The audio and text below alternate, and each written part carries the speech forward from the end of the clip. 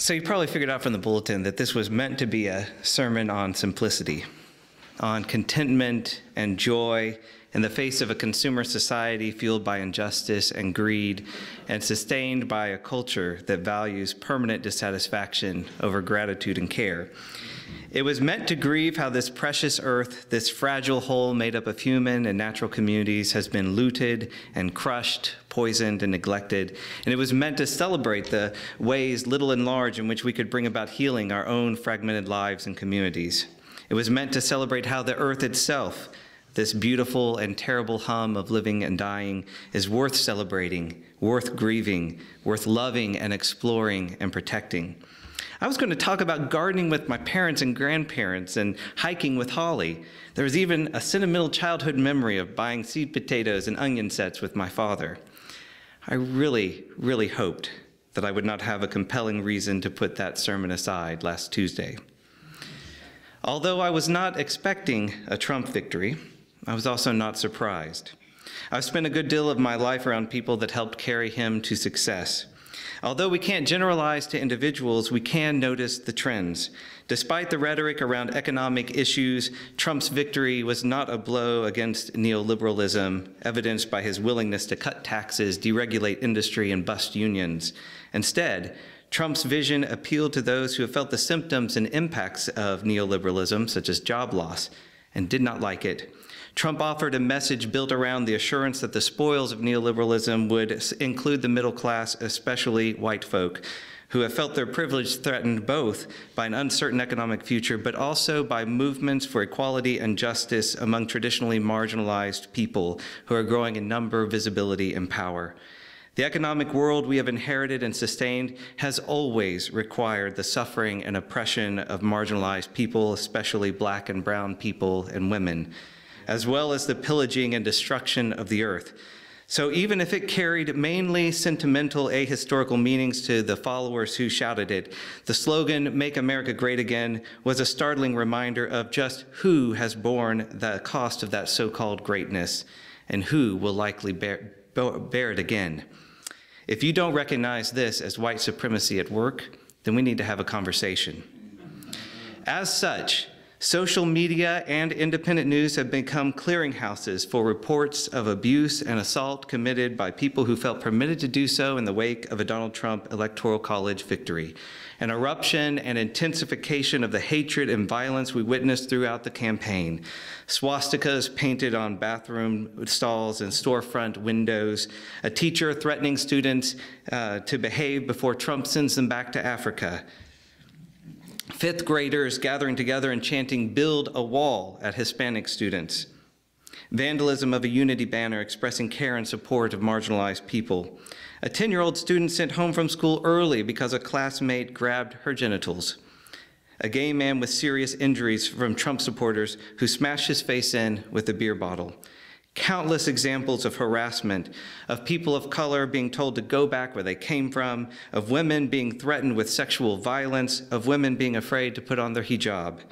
This, there is an entire Twitter feed called Day One in Trump's America, and a Tumblr called Why We're Afraid, both documenting the abusive and self-congratulatory celebration of Trump's victory. Tragically, suicide crisis hotlines are reporting that they're receiving twice as many calls as usual. Transgender hotlines in particular receive what they described as record-breaking numbers of calls, up to five times the normal amount in some cases. All the while, I keep seeing liberal friends counseling us to be calm, to give Trump a chance to be unified. They speculate that Trump's misogynistic, racist, hateful rhetoric was just a show and that President Trump will be a different man when he's in office. Trump's victory speech called for unity, after all. While I don't agree that this is a time to stay quiet or that we should waste even one moment that we can use to organize and resist, it is worth considering what Trump himself has said about what's in store. So setting aside what Van Jones aptly called a white lash, let's take a glimpse at the possible shape of a Trump presidency. To begin, Trump is surrounding himself with a collection of people whom marginalized people already know as problematic under the best conditions. I'll stick with just two examples here that connect with some of the many implications for people of color. First, Rudy Giuliani may become our Attorney General, the same man who championed racist stop and frisk policies, a practice we should note that Trump himself said that he'd like to see implemented nationwide, and has ignorantly and repeatedly condemned the Black Lives Matter movement. Second, Sheriff David Clarke is a possible nominee to head the Department of Homeland Security. Clarke has also repeatedly attacked the Black Lives Matter movement, going so far as to say, I'm tired of hearing people call these people black activists. They're not activists, this is black slime, and it needs to be eradicated from the American society and the American culture. Department of Homeland Security, potential candidate. He's also opposed policies that address gun violence and proposed including a semi automatic rifle on the Great Seal of the United States. Further, of the 47 names of possible nominees for cabinet positions we know of at this point, only two are people of color, Ben Carson and David Clarke, and only eight are women, Sarah Palin, Pam, uh, Pam Bondi, Victoria Lipnic, Jan Brewer, Mary Fallin, Cynthia Lummis, Carol Comer, and Leslie Rutledge. And several of these people are being considered for the same position. In short, Trump's answer to leading a nation that is clearly divided and even more clearly facing direct and systemic issues of injustice against marginalized and minoritized people is to surround himself with white men. As for policies, Trump has promised to slash service programs, repeal legal protections for vulnerable people, including people with disabilities, senior citizens, and their families and caregivers. One option to block grant Medicaid would mean that states with more low-income residents would need much, uh, would lose much needed funding. It would also mean huge slashes in funding over the next 10 years with resulting cuts in services. Trump has also promised to, reveal, to repeal the Affordable Care Act, although there's some waffling on that right now. Without going into the difficulties and complexities involved with such a process, there are changes that can be made that would result in even more limited access to health care. LGBTQIA plus folk are also bracing themselves for what's ahead. At the very least, it seems unlikely that we'll be able to depend on federal protections. More likely, Trump will rescind President Obama's executive orders that offered some levels of protection from discrimination. Trump and Pence have said they want these decisions to be in the hands of the states and local communities. And as residents of Springfield, we know what that looks like, don't we? And most states themselves don't provide protections. The prospect of what a Trump era Supreme Court might do is also frightening for many reasons, even beyond the issues related to LGBTQIA concerns, but they also include current issues and cases being argued now uh, and related to transgender rights. What if you're a Muslim? Trump has toned down his call for a total and complete shutdown of Muslims entering the United States, revising it to read as a ban on immigration from terror prone regions where vetting cannot safely occur, but this is simply code, and immigration regulations are written in such a way that Trump could very well ban entry into the U.S. to anyone who has a passport from countries that he determines are terror prone. The ban is a horrible idea, but it is a very real possibility, and such a ban would also have ongoing impacts on Muslim citizens living in the United States. Another area of grave concern regarding a Trump presidency is in relation to the health of our planet. By now, I hope I can assume that the relentless assault on the earth is as well known as it is well documented. Yet Trump's plans could make things considerably worse. Brad Plumer of Vox has outlined some of the red flags we already know about. Quote, Trump called global warming a Chinese hoax. He couldn't have been blunter about this. He also tapped Myron Ebell, an avowed climate denier, to head his EPA transition team. Trump has said straight up he wants to scrap all the major regulations that President Obama painstakingly put in place to reduce U.S. carbon dioxide emissions, including the Clean Power Plan. If Trump wants to rewrite these rules through executive action, he can. Or Republicans in Congress could try to pass a law forbidding the EPA from ever regulating CO2 again. Trump has also hinted he wants to downsize the EPA. What they do is a disgrace, he has said. He now has the power to rewrite or scale back other regulations on mercury pollution, ground level ozone, coal ash, and more. Trump said, has said he wants to repeal all federal spending on clean energy, including research and development for wind, power, solar, nuclear power, and electric vehicles. This would require Congress, but it's not impossible. Finally, Trump wants to pull the United States out of the Paris climate deal. There's nothing stopping him here. Technically, the U.S. can't officially withdraw for four years, but for practical purposes, the Trump administration could ignore it. End quote. Trump's 100 day plan also included lifting the Obama Clinton roadblocks and allow vital energy infrastructure projects such as the Keystone Pipeline to move forward. So it's no wonder Plumer titled his article, There's No Way Around It Donald Trump Looks Like a Disaster for the Planet. All of this is just the beginning, based on what Trump has outlined in his own plan and promises. And I didn't even try to fit in most policies, from the possibilities of war to the rollback on reproductive rights and women's rights to criminal justice reform to immigration and more. We can be hopeful that Trump won't try or be able to keep his promises, but we cannot count on it. This is also doesn't even address what might be done legislatively by Republican controlled Senate, House, and White House, or as I mentioned before, what decisions might unfold during a Trump era Supreme Court. Nevertheless, it is important for us to remember that despite the terrible potential, the election of Donald Trump is not yet the worst tragedy humans have faced. And if you are just now becoming aware of the injustices thriving in the United States and around the world, you are very late to the game. Let us be clear. The current global economic system came into existence on the bones and backs of millions upon millions of human beings through the tragedies of genocide, slavery, and colonialism, and the ruthless extraction and use of natural resources without consideration for disastrous ecological impacts. Further, the current global economic system is maintained through the continued exploitation of billions of human beings working, living, and dying under oppressive, dangerous, and economically unjust conditions, and the continued ruthless extraction and use of natural resources with little consideration for the impacts. For those on the margins, crushed under the glittery boot of capitalist expansion, the meaning of life is reduced to survival. For those outside of power, but within the circle of privilege, the meaning of life is reduced to consumption. We sustain it with the choices we make when we shop, invest, and spend our time. The earth and everything and everyone on it is reduced to a potential source of profit, even as we are reduced to a pool of data that can predict what we are most likely to buy and when. The way history unfolds will include our own actions, and though there are never guarantees, there are enough of us that we can look, act in such a way that another world becomes possible. It will necessarily include looking honestly at how we got in this mess in the first place. Yet this can be tricky. That human history is overflowing with injustice is one of the most bewildering and difficult realities for people to face with honesty, especially by those who benefit from that oppression and exploitation. It's a price we have been too willing to pay as long as someone else was doing the paying. It's, the, it's a price that has been paid by a planet squeezed to death by our insatiable, ignorant greed.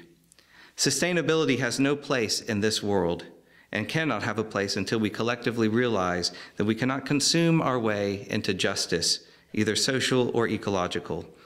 Yet we have proved time and again, and I'm especially talking to white people here, that we would rather not be honest about the ideas and actions that have led us to this point and that sustain systems that are overwhelmingly and obviously unjust. As long as there is profit to be made or power to be grabbed, as long as our conveniences and adoring self views are more important than justice, as long as we feel helpless in the face of it, there will be easy reasons to excuse, justify, or hide our complicity. What is called for is a different set of values, practices, and systems that are oriented around caring instead of craving. We need to intentionally build communities and join efforts to organize for change locally, regionally, nationally, and globally. We need to move from accumulating to showing hospitality, from dominating to nurturing, from alienating and isolating to connecting and sharing. It's a shift from hubris to humility and from white supremacy to true equality. It's a vision not unlike the one in the wisdom lesson from this morning. They shall build houses and inhabit them. They shall plant vineyards and eat their fruit. They shall not build and another inhabit. They shall not plant and another eat. For like the days of a tree shall be the days of my people, and my chosen shall long enjoy the work of their hands. They shall not labor in vain or bear children for calamity, for they shall be the offspring blessed by the Lord and their descendants as well. The people who collected these sayings, that treasured them, did so in a world different than the one we live in now. But there are enough similarities between imperial oppression then and now that we can recognize these prophecies and feel them as our own. The Hebrew prophets speak to us from a world crushed by food insecurity, forced evictions and exiles, landlessness, debt, hunger, violence, war and occupation, environmental pressures and famine. We can recognize our own fears and sufferings and their cries for justice. We have passed through a brutal election season. It has occupied so much of our thinking, feeling, talking, and doing, and we are exhausted, and we are uncertain about this world in which we live. We have come face to face with many things we knew but had avoided in our culture and society. In many ways, this election season brought out the worst in us, making known the prejudices, fears, greed, and violence that we usually keep hidden away. So even before the ballots were cast on Tuesday, the challenges and injustices plaguing our nation and world were and remain clear. Climate change and threats to ecological health, food security, and biodiversity, the militarization of our societies and reliance on uh, coercion, violence, and war, and the maintenance of economic and political power that relies on the exploitation of the most vulnerable among us through both hidden and overt racism, sexism, homophobia, ableism, and similar oppressions. Martin Luther King Jr. named their source as the giant triplets of racism, militarism, and extreme materialism. It is our work to cultivate communities that not only denounce their evil, but announce and embody another way. This is true no matter who is president and no matter who controls Congress. And this is another of the gifts of the prophets. They announced the world that could be as insistently as they condemned the world that was, with all its injustice. They dreamed of a future and reimagined a society where people lived peacefully with each other and the earth, their health bound up together. They remind us that we must work for what we love with even more enthusiasm than we expose that which we fear.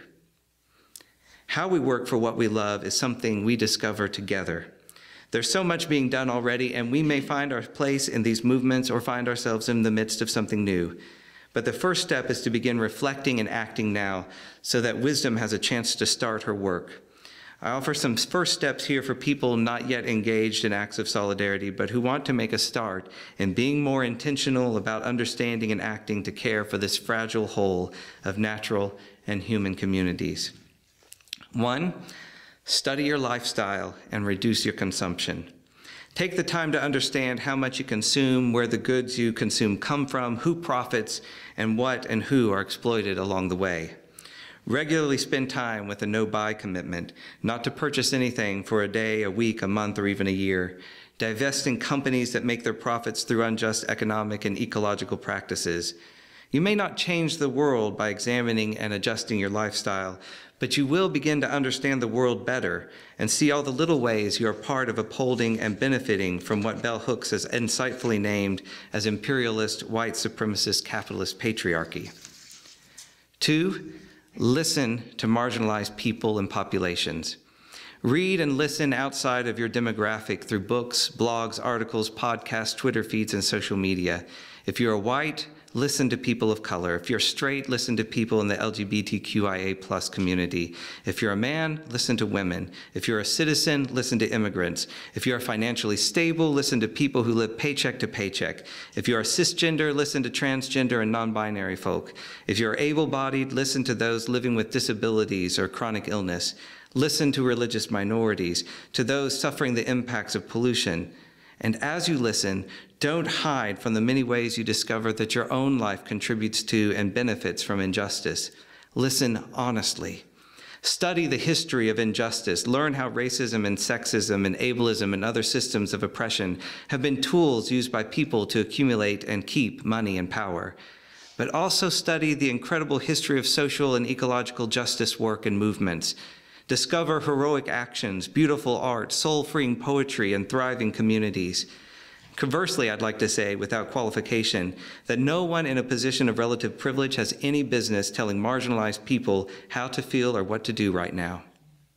Three, financially support marginalized people and populations.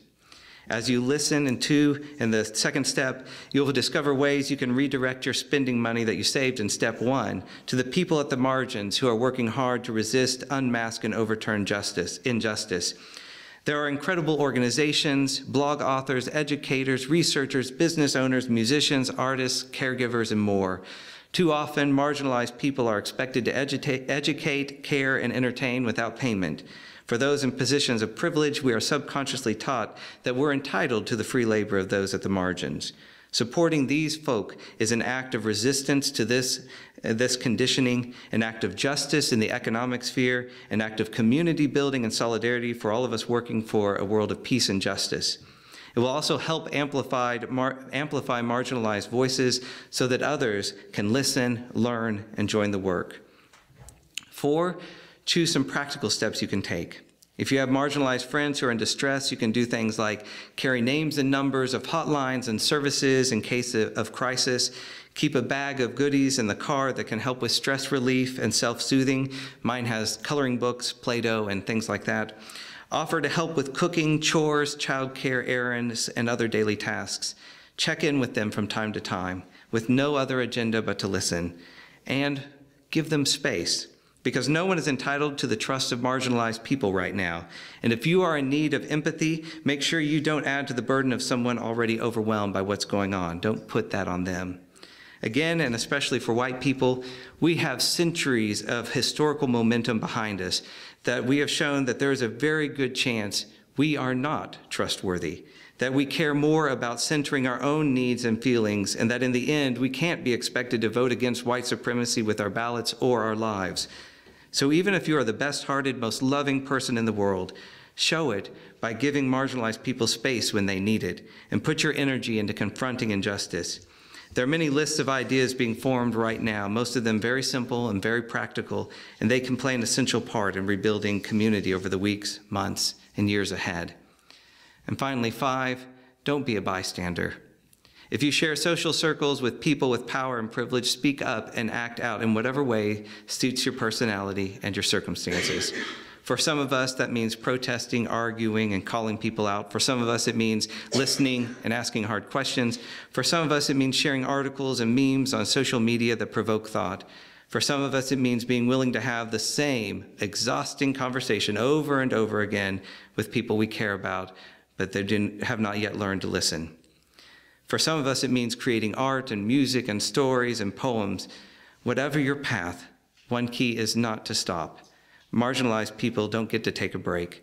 Use your privilege to help shoulder some of that nonstop pressure.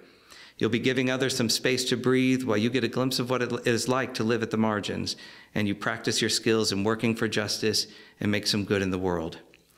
This is a short list, and it's by no means going to get us where we need to go, but it is a beginning. And there are millions of us who have left things up to others for far too long, and a beginning is what we need. So I'll wrap things up with the assurance of hope I spoke earlier in this service.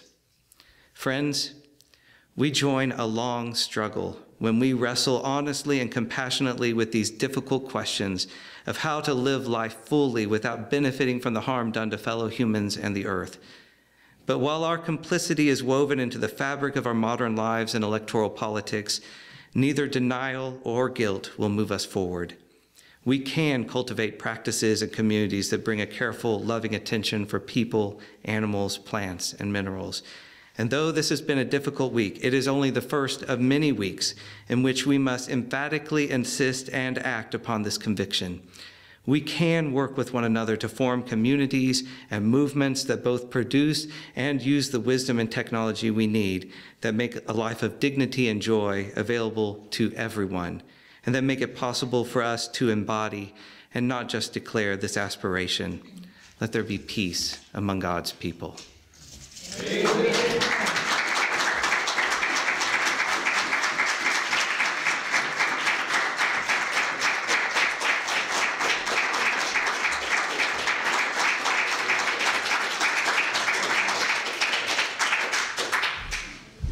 Thank you for watching our videos.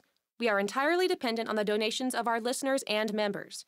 We hope that you find this content to be important enough to help us to keep offering these videos to the public at no charge by becoming a regular contributor. please click on the donate button on our website at www.spfccc.org. Thank you for your support of progressive religious programming.